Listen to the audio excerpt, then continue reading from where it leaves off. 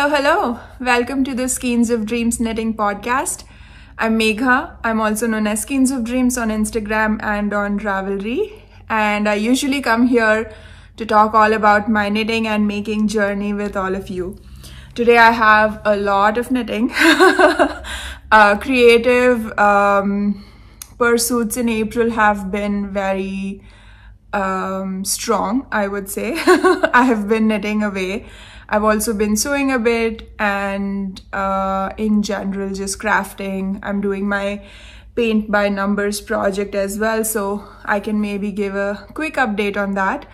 Um, it's quite gloomy here. I'm hoping the light is sufficient for me to get through this video, uh, but we'll see. My Peperomia has joined us again. I think she needs a little bit of water, but uh, she'll be fine. I have named her Melanie. Pun fully intended. Uh, but yeah, I'm, uh, it's, I always start off practicing my intro and then like uh, deciding how to transition into the knitting um, smoothly. But if you've, but if you're a podcaster or you've, you've tried to record any videos, it always becomes like super awkward. So anyway, I'm gonna jump right into my finished objects. I have one finished object today. Uh, I had just about started this the last time I was here recording an episode and that this is my Venetian tank. It's a, a pattern by Sari Nordlund um, and I have finished it. Uh, it's a very basic tank knitting, knitting for olive pure silk held double and that's what I have done as well. Uh, I use the plum rose color. This has sort of become like my neutral. Uh, I have a lot of um, garments in like this vintage pink color. I'm almost getting bored of it now. I think I need to move on to other types of pink. Um, it has a keyhole back uh, feature and I've put this cute little button uh, on the back. Uh, this was a breeze to knit. I don't have a lot to say about it. Like it's a lovely pattern. Saris patterns are really easy to follow. It has a I-cord neckline and then it has a twisted rib. It's a bottom up design. I'm gonna put a picture of me wearing it for Instagram. I didn't wear it today because it's it's still a little chilly, so I needed sleeves and so yeah. But I finished it, and as soon as I finished it, the weather became a little too cool for wearing a sleeveless top. So I haven't been able to knit it or to wear it. Next time, even though I'd been quite careful, next time I would make the armhole tiny bit smaller or shorter for myself. But other than that, um, I'm very, very pleased with this um, tank. And I, I was looking for a basic tank design for this summer. And I'm so glad that I've um, got this done. Um, yeah other um i don't think there's anything else to say about it. Like i'm super happy with it. The knitting for olive pure silk is a pleasure to work with and holding a double gives a really nice um, fabric um, I have mentioned this before. I like my summer ga garments to not be too see-through so that I can just wear them over a bra. I don't always like layering in the summer. So I would rather not have anything that needs a camisole under it. So talking about summer garments, I'm wearing my Tankar tee by my friend Anina Yuti. Uh, she, she has the Ani Yuti Knits podcast on YouTube uh, very prolific designer. I'm going to talk a little about more about Anina um, shortly when I talk about my future plans. Uh, but yeah, it's it's I knit this in 100% cotton by Ta by Tahki Yarns Coronado, I think.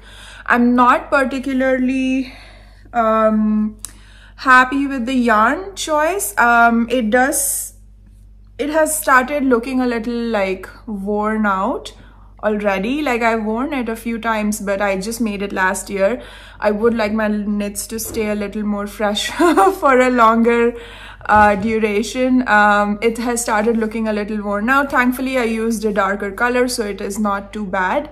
But I, the just the way it looks, the fabric and the yarn, it has started like not pilling exactly, but like get, getting this feel like old garments do. I don't know if I can stand up and try and show you how it has started looking. I mean, you have to look at it really closely for you to see that. So I don't know if this is too much close up, but yeah, it's, I can't explain it. Hopefully, um, I was able to show you how it looks now, but if not, I might have edited it out. Uh, of course, when I'm recording, the cats will go crazy, but I know you like watching the cats in the background. Um, Oreo sleeps here most of the time, and for my podcasting, I came and sat here, so he has been evicted from his current this has become his bed now i don't know why but he sleeps on this on the back of the couch and then the, on this um, cushion here. that is that is this is his latest spot, so I've kind of stolen his spot from him. All right, uh, so that was my finished object and what I'm wearing today. Um, let's start with the WIP parade. I have a lot of WIPs and I have no idea where to begin. All right, let me start with um, my apoplystra. So I had shown this the last time that I don't remember how much I have no I have no memory of what I said or what I did last episode but uh, one of my uh, goals for this year was to my major goal for knitting this year is to try different designers and one of the designers I really really uh, appreciate and like uh, like she she does beautiful work is Rachel, who is the Unwind Knitwear. Unwind Knitwear, is that her handle? Yes. Rachel released this beautiful pattern called Apoplystra. It's a three color, all over colorwork sweater. And this is how much I've done. Um, I have thoroughly been enjoying this. Though in the last week or so, I haven't really knit on this because other things have started taking precedence over this. But I'm so happy with my color choices and with how this is looking. This is definitely going to be an epic um, statement piece, I want to say. So three color color work and a lot of rows do have three stranded color work and this is how it looks in the back. I have actually like steam blocked this to take a picture for instagram and um, i'm super pleased with the with my tension. As soon as i had steam blocked it it looked it still looked little odd to me but once i let it dry it looked really beautiful.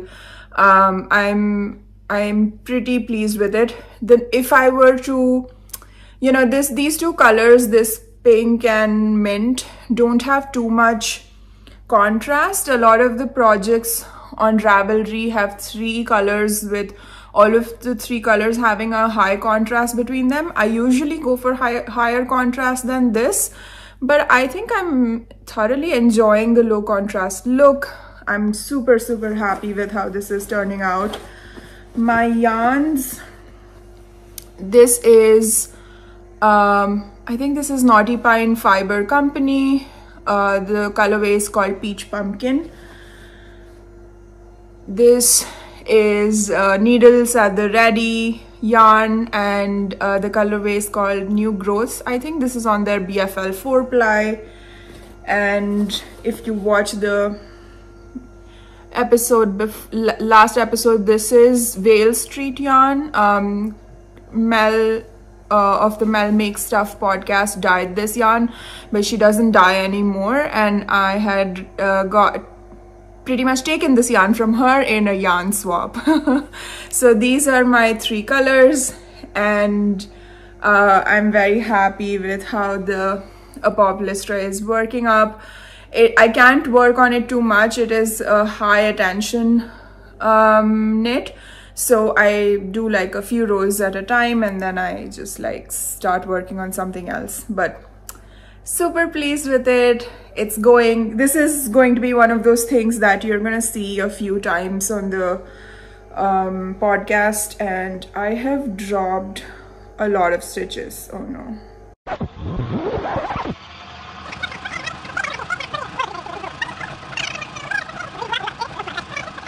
I got the stitches back on the needles. I think I need uh, I need needle stoppers or something for this project because with the three color color work, if I start dropping stitches, it's going to be a nightmare. But yep, that was my first work in progress, uh, the Apoplystra.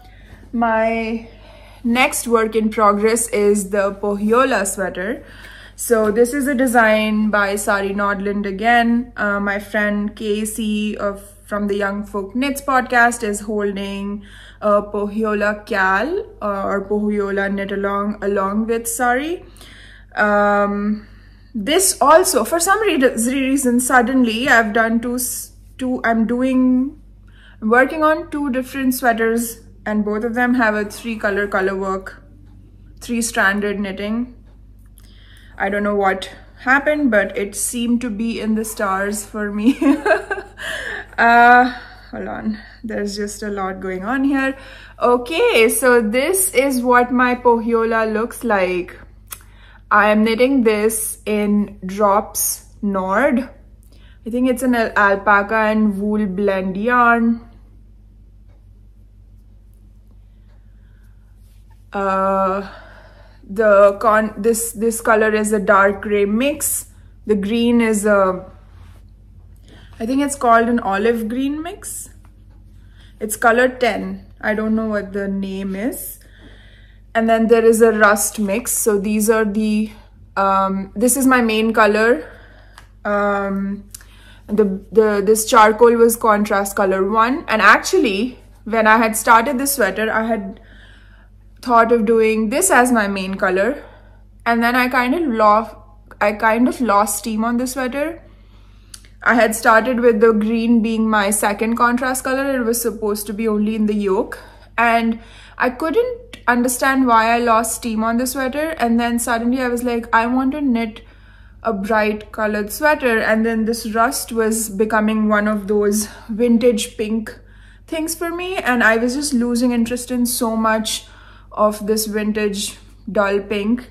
So I wasn't feeling it. And then around this row here somewhere here I decided to change my mind and or I changed my mind and I decided to change the colors. And I changed the color scheme over here to make the pink my uh, second contrast color and made green my primary color. And I am so happy with that because I think this will be a very very nice sweater in my wardrobe. And this green is just so bright and so nice to knit with. I'm feeling all the greens right now so I'm super happy that I changed my mind and I made green my contra my primary color. And on cue I am dropping stitches on this as well. Um I'm not very like organized today. I don't know what's happening, but my knitting is just falling off all the needles. But this is my Pohjola sweater and I'm super, super pleased with how it's turning out. I was kind of in a hurry to finish the color work and move on to just plain stockinette. And in that process, I worked quite a bit on the yoke and gave myself some repetitive strain. So I have been unable to knit on the sweater more than a few rows at a time.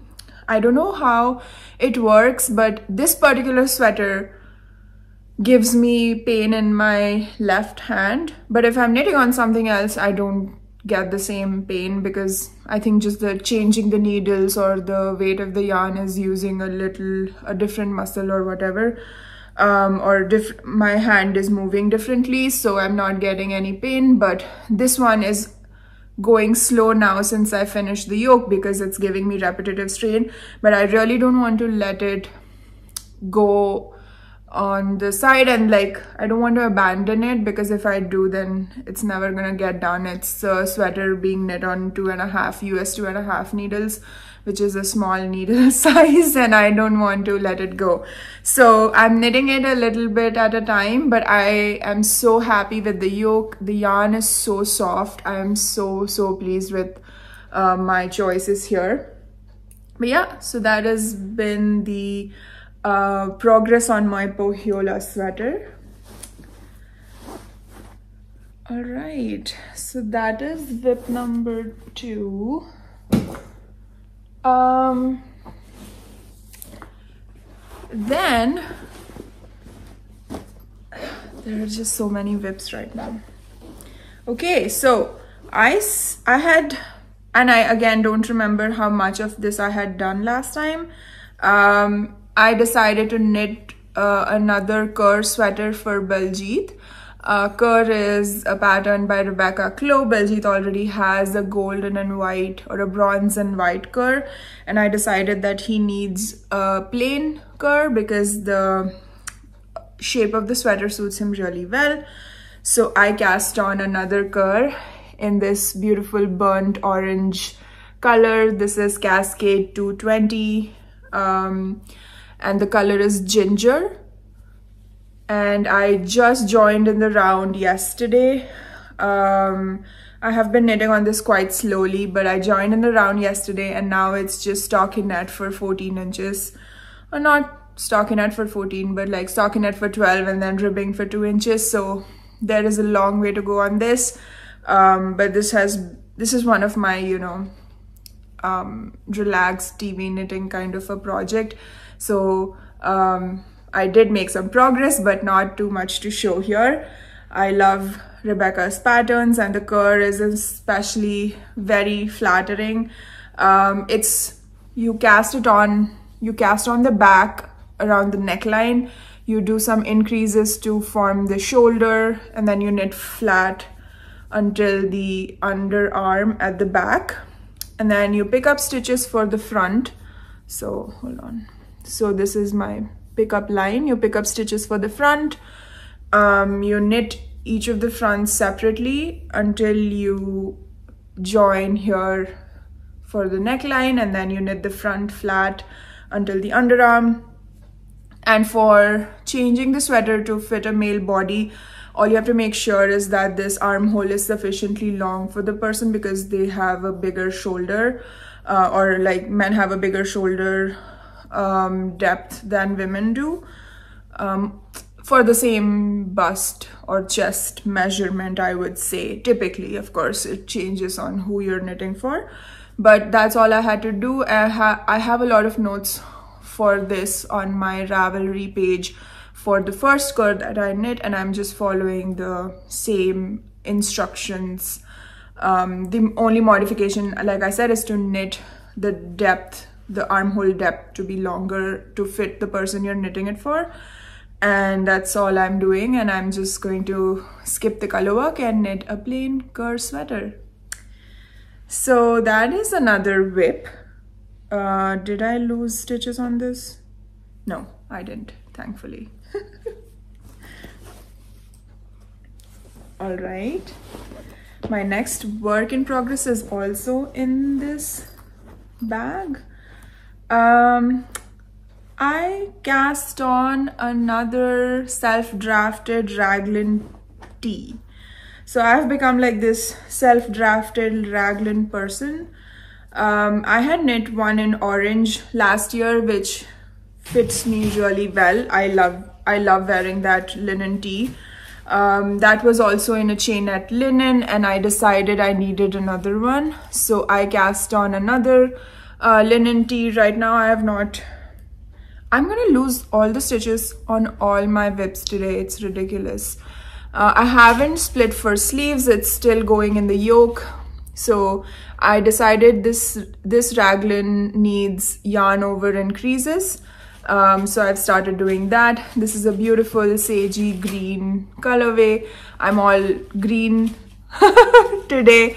Um, this yarn is Deep Stash. It's Quince & Co. Kestrel. It's a chainette linen. An Aran weight is what they say this is. Um, I am getting a 20 stitch gauge on US 5 needles on this.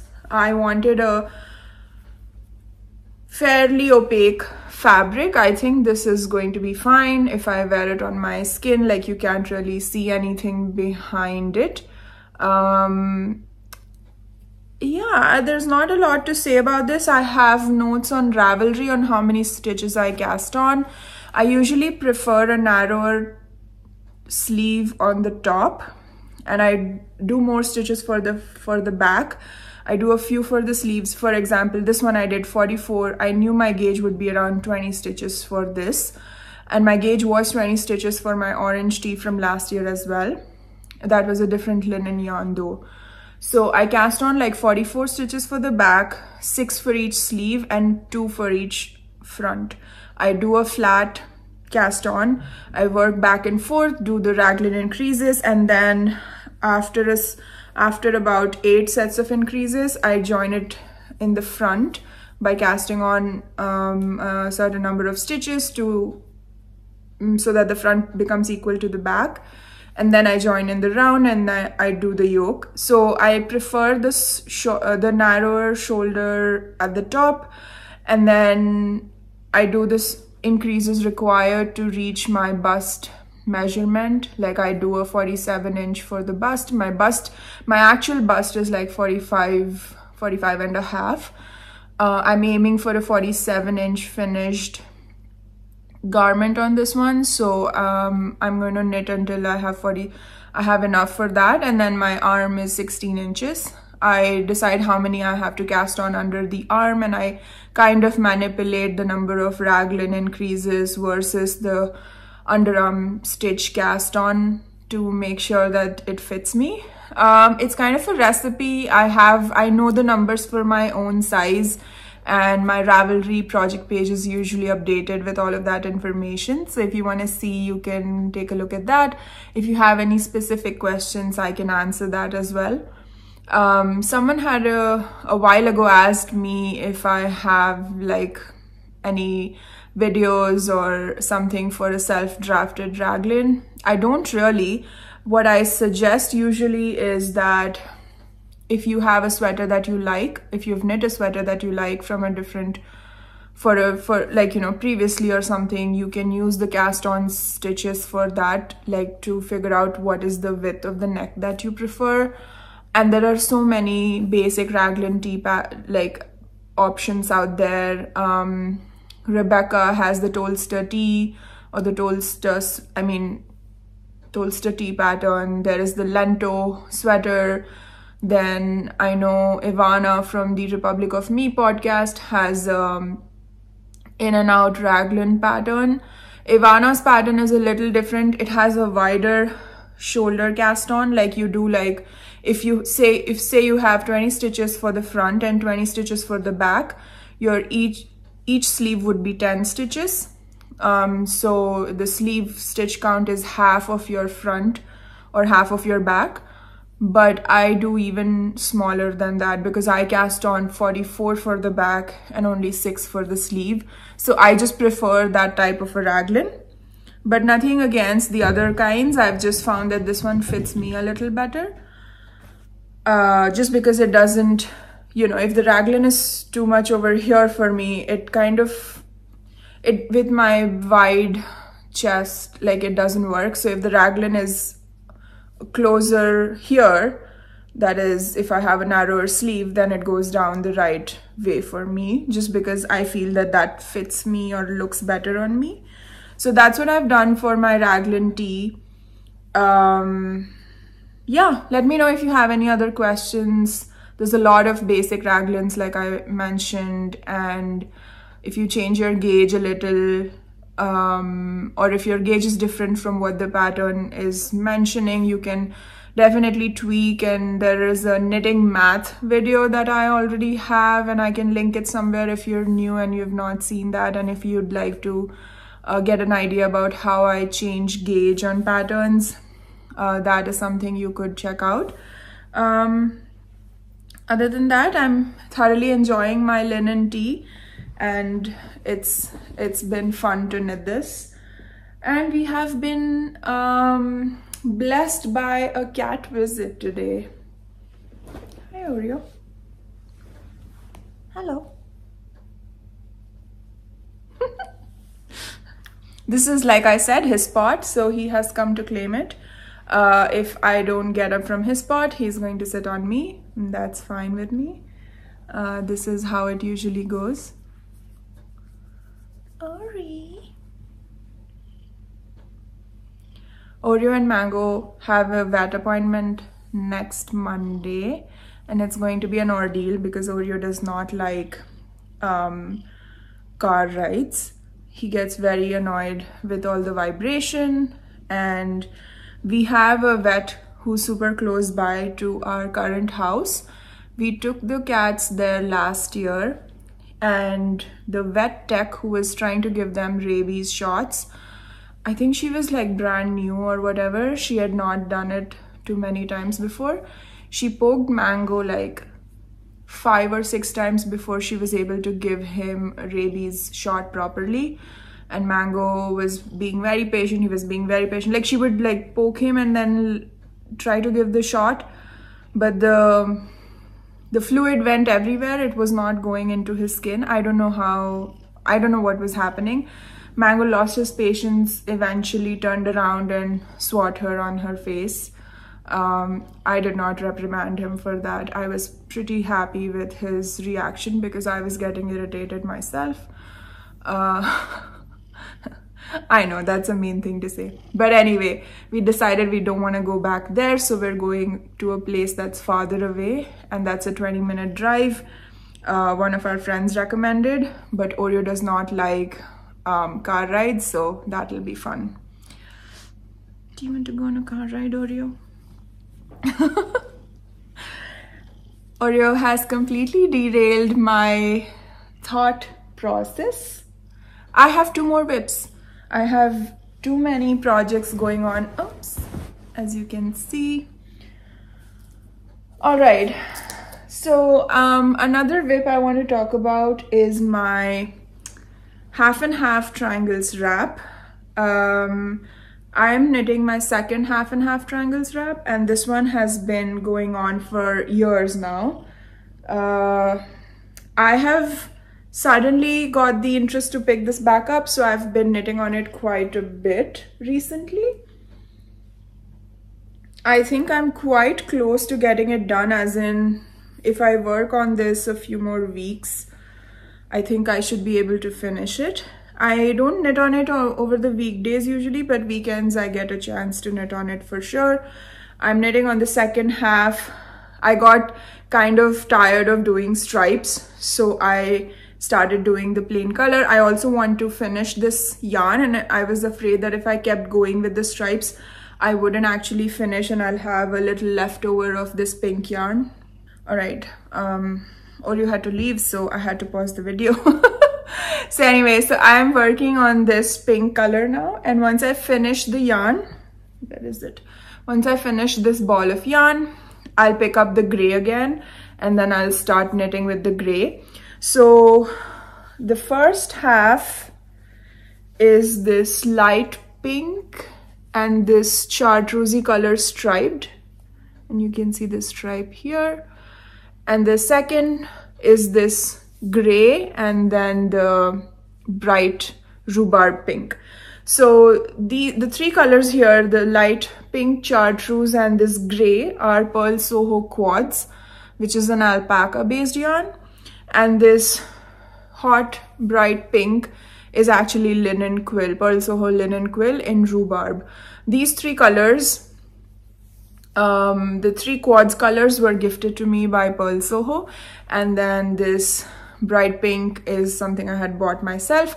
I just decided that I want to make um, half and half wrap and I didn't have a sixth skein so I decided to add this and I'm super pleased with how the two um, halves have a different my my t-shirt is all over the place i'm super pleased with how the two halves have a different vibe to them like this is very punchy and bold and this one is very soft and like um muddled or muddy or whatever. So um, I'm about 65 rows away from finishing. Like I only have these many stitches to incorporate. They are, I would, I mean, they are the longer rows. So um, it will take me a little bit of time, but I'm making good progress, I want to say. So it should be done in the next few weeks, hopefully sometime this year anyway. so that is my half and half triangles wrap. Uh, it's, I, I'm, since I've started knitting the half and half triangles wraps, I've really enjoyed having a garter project on the go at all times. Like anytime I feel like there's something happening in my life or the my mood or I just I'm just watching TV and I can't focus on my knitting it's just nice to have a garter project always in the background. And I'm already planning that as soon as I finish this I'm gonna start another one um, even if it takes me two years three years whatever I just want um, a simple garter project on the go at all times. Uh, we use the I've made the half and half triangles wrap before and we use that a lot. It's just being used as a throw on the couch. So I think that this one is going to have the same same uh, destiny basically. Uh, so yeah, so that was that. And I have another very uh, fun WIP to share with you. So Laura Penrose came out with this pattern called the Sweet Shop Blanket, which is basically um, you know just uh, just multiple squares uh, but you don't have to do any seaming because you pick up stitches for the next square and I started sort of a scrappy sweet shop blanket. Uh, what I basically did was pulled out all the yarn from my stash which was pink purple or peachy. And I divided them into lights and darks. And I just cast on. This was the first block I did. And I just cast on and I have been working away at this. I had, this has been so much fun to knit. Like the little squares take you about, I think each square takes me about 90 minutes. This is fingering held double. So all of these are basically sock skeins in my stash. They're either leftovers from other projects, they're minis or they're sock skeins I've purchased and they can I don't see them becoming socks um, in the near future. So I decided that I'm going to make them into a blanket and I'm so, so pleased with how this is going. I've right now done 11 squares. My plan is to make like 100 squares total. So this will take me a while. I've already started my 12th square and I'm in the middle of, I've just about started it. That's the color it's going to be. So this is a mini I've ha I have from, I don't know from when. This is such a, I love this square. This is my favorite one so far. Uh, but of course I like all of them and um, they'll all uh, go into the blanket and that'll, that's what will make the blanket special. Uh, so it's kind of a scrappy, but not so much. It's more like random skeins from my stash are being used into this. Um, I'm using about 13 grams per half, so 13 grams per color per um, section. And I've calculated that I would need 2600 yards for 100 squares. So that means I need 26 skeins, 13 dark and 13 light to finish this blanket. I'm not sure if I have those many pink, purple and peachy skeins, but we'll see as we as the blanket grows in size, we'll see if I actually need 100 or if I can get away with like 80 or something. But I'm super pleased with how this is turning out and I'm thoroughly, thoroughly enjoying knitting this Sweet Shop blanket. Um, I'm being very loose with what I mean by pink. If it has even a hint of pink, it's going into this blanket. Just because otherwise if I stick true to pink and everything, I'm not gonna have enough yarn from stash to do this. I am looking forward to using up, it's kind of a reset of my stash. If I use up all of these random skeins, I don't really know what to do with. I mean, I bought them for socks, but let's be honest, how many socks do I actually make? I don't make a lot of socks in a year. This square I finished just this morning. I have been knitting on this blanket with my morning coffee pretty much. Um, so this is the square I did this morning. Um, I don't get to finish it because it takes me about 90 minutes for each square. Uh, so I don't get to finish one square in the morning, but today being um, a week, like um, Friday, I and I for some reason woke up at 5:30 today. So I've been so I had more time this morning with my coffee, so I was able to finish a square. I'm aiming at like, I'm not being too crazy about it. I'm doing one square a day or not even. I Some days I've not done a square at all, but I just want to keep going at it. Just like my half and half wrap, just keep going with it so that it gets done uh, sooner rather than later, but I'm not putting any sort of pressure on me. But i think just because it's such a scrappy project and you want to see what the next color combination will look like or something like that it just keeps you going and has uh, a lot of uh, constant interest or whatever. So so yeah so that is my i think the last WIP i have to share for today. Uh, i have been knitting away like I, I get bored of one thing and I start another and then I get bored of that, I start another. I've been shamelessly knitting, shamelessly casting on whatever I feel like and I'm just it it's it's making me happy and I'm I'm okay with that. I don't need to be finishing anything.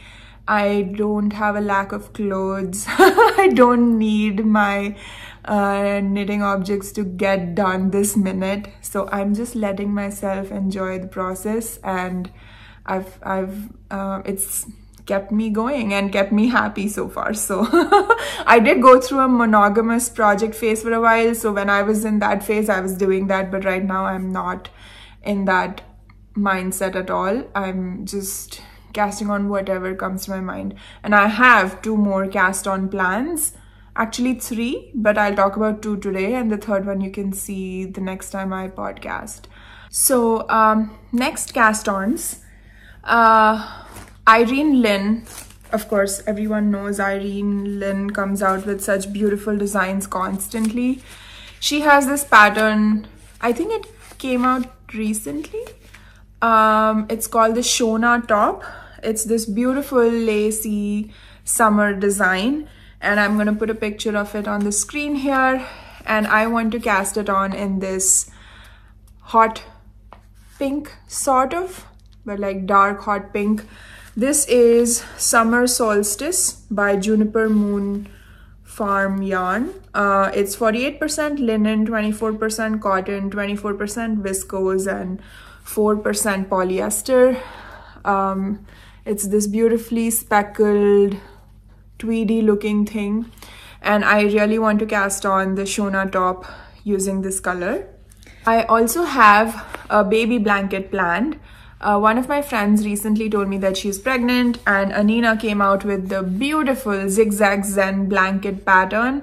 If you haven't already seen the pattern, go check it out right now. I'm going to put a picture of it on the screen and the link is in the description box below. So when my friend said that she's pregnant, and of course the same week Anina um, came out with this released this zigzag zen blanket pattern. I decided I needed to make it. And I decided I needed new yarn for it because my friend is having a boy and I have a lot of pinks in stash. And then all the pinks are now uh, reserved for my sweet shop blanket I'm just giving more excuses to myself. And anyway, I needed like something super wash so I can actually give a washable blanket to my friend because let's be honest, um, cannot give something that is not washable for a child, for a baby that's not born yet. So these are the colors I picked. I am so, so pleased with it. They're just like going with everything right now. Like this is such a summery, springy, um, color palette. This is Cascade 220 Super Wash. uh, the that's just I think it's ecru. This is daisy yellow. This is hyacinth. And then this is I don't remember what green it is. Uh, the color is 802 for this green. But um, I'm looking forward to making a zigzag zen blanket out of these colors they'll be so so fun the baby is due like in October uh, so I, it's not like I have to make it now, but I might just cast it on now. Like, why not? Like, get it done. And then if she has like a baby shower or something, I will be ready with a gift. If not, uh, I will give it to her when I see fit. uh, but yeah, those are my, those are the projects that are exciting me for um, the next few cast-ons, I think. Um, other than that, I think I have one sewing WIP to share with all of you. Uh, you enjoyed watching me um, share my previous sewing WIP, so I'm gonna uh, make it a point to also show you some sewing projects just at the end. I won't talk too much about it. I'm gonna do a sewing roundup at some point but that will be a whole separate video. But today i'll just share the current thing that i'm working on. So uh, one pattern that i've always wanted to try the sewing pattern is called the Nicks dress and blouse. Um, i've seen a lot of versions of this and i've always wanted to sew one um, at least the blouse for myself. Uh, so I have been working away on that. Uh, this is the View C. It's a V neck. I'm I'm yet to attach the sleeves. They'll have full length, kind of cinched in with a uh, elastic at the end sleeves. I've prepped the sleeves and everything. I just have to do the elastic, the cuff, the sleeve cuff, and then set the sleeve into the blouse. Um, this is Art Gallery Fabrics. I've had this in my stash for, for a while. This is a viscose or a rayon. Is it rayon? One of those. Um, are they the same? I don't remember, but they have a, it has a gathered front bodice. Um, the back is also a yoke. So that's the yoke and then I've gathered the back it's a busy print and so maybe the details are not all visible. I, I use that on purpose so that it being the first time I'm making this blouse, if there are any mistakes, I want it to be hidden in the flowiness of the fabric and the busyness of the pattern.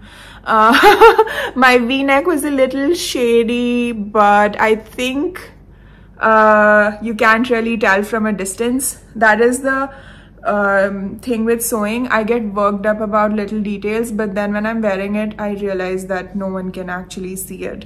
Uh, I'm really pleased with how it's working up so far. I finished hemming the bottom. I didn't press the bottom yet. It's a high-low hem. Uh, but I'm so so happy with this. The instructions for this pattern were a little shady I want to say for a beginner. But if you know what you're doing it shouldn't be an issue. I'm kind of a semi-beginner. I'm I have made a few patterns, but I still I have not made enough that I just know what to do after cutting the fabric. Like, you know, I still need to look at stuff. Um, but yeah, that's what I'm sewing currently. I want a lot, a lot more office going or office wear, um, office wear basically. Um, so I am trying to make more garments like that i don't want to buy any so i have a lot of fabric so i've been trying to experiment with different patterns see what works. If this looks nice i'm gonna make another version in like a plain fabric so that will my my stitches will show more um, clearly in that. Uh, this one is a little bit more hidden so um, yeah so that's what i'm working on. This is the next blouse like i mentioned and I've been, I've not, I'm not very confident sewing with rayon. This is the first time I was able to use a rotary cutter to actually cut the fabric, but I think it, I, I think I did a good, decent enough job. I'm excited to um, up my sewing skills, I guess. Uh, so yeah, so that is one of the other crafty projects that I've been working on. Okay, so I've definitely lost light and I had to go do something else, so I got interrupted. uh, but the last kind of work in progress that I want to share today is my paint by numbers kit. So I had spoken about this maybe two episodes ago when I received it. Um, this is a painting of more plants. Basically, Melanie is getting some new friends. Uh, I have been thoroughly enjoying working on this. This is such a good break for my hands as well from all the knitting and the sewing and all of that. Um, it's it's been fun. Uh, the lighter colors do need second coats to hide like the lines and everything. But I think from a distance you might not even be able to tell the lines and all of these. Uh, but yeah, I've thoroughly been enjoying working on this. Uh, this will take me a while, but it's it's happening. I know a lot. Some of you were interested in seeing my progress with my paint by numbers kit, so I thought I would include a little bit about that here um, I was quite surprised that I was definitely living under a rock and so many of you already know about paint by numbers and everything. uh, but yeah, I'm thoroughly enjoying it and I just, it feels very cathartic. Like, you know, I'm just following. I, I'm not thinking. It tells me which number and I'm just like using that color. So um, initially I was like, what is, is this not to work out well or something like that. But as I started doing more of it, it started becoming a bit clearer to me where this was headed, of course. Um, yep, so that was pretty much all the crafty things that I had to talk about today. Uh, I have a lot of things planned. I have, I'm so excited about so many other projects. it's going to be a fun um, spring, summer, I want to say. Next month, actually, um, I'm going to Knit City, Toronto and meeting with Selma and Mel once again. So that is, I think, this is it the 17th and the it's the 18th and 19th of May or something like that. And I'm going to drive up to Toronto, meet up with Mel and Selma. We have already booked our tickets for it and we've booked the Airbnb where we'll be staying at. So um, our annual tradition of going to one knitting festival together is continuing and I'm super, super excited about it. Uh, so I'm really looking forward to again being in the presence of all the yarn and the I really enjoyed Knit City Montreal. It's a very different vibe from the farmy knitting festivals. Uh, but I thoroughly, thoroughly enjoyed looking at all the yarn in person. So I'm, I'm quite um, happy that I'm going. And yeah, um, I also have some work trips planned next month. So I don't know what my podcasting schedule will look like, but I'll definitely try to get some footage as usual at Knit City Toronto, and then I will record a podcast once I'm back from there. Uh, hopefully, I would have finished at least one thing by then, not that anyone's counting, but it would be good to keep things moving on my needles and not just keep casting on stuff, right? um, but yeah. Thank you so much if you've stuck around until the end. I hope you enjoyed my 50th episode. I did not do anything too special, but it's just me and just my knitting as usual. Uh, thank you so much for always supporting me and leaving such wonderful messages on my videos. Um, I thoroughly enjoy interacting with all of you. Uh, thank you so much for watching. Um, stay safe, uh, happy crafting, and see you next time. Bye.